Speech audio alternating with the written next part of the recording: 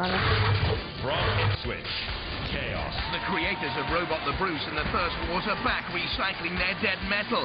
Its front ram, originally part of a Phantom jet nose gear, this boss is seeded sixth for the series, Craig. Debate.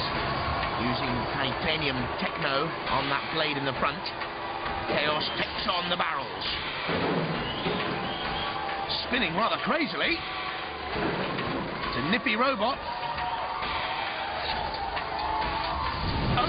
Seesaw into Sergeant Bash, blocking the way. Has he got the power to get beyond Bash? No. Retreats as the torch flicks out. Takes them on again. Passes. Barges. And I think they've done enough. Of Mike Cutter's ambitions is to watch drag racing in the States.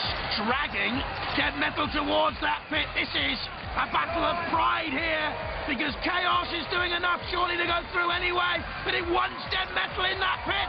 It wants dead metal submerged in the smoke. Can he pull dead metal in? Humiliation for the house robot.